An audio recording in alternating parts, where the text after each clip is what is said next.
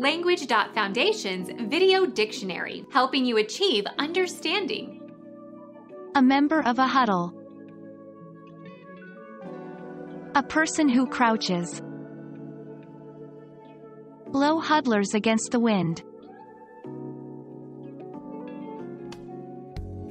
Become our student and get access to effective and free educational materials. Subscribe to our channel to become a part of our growing community and to learn English effectively.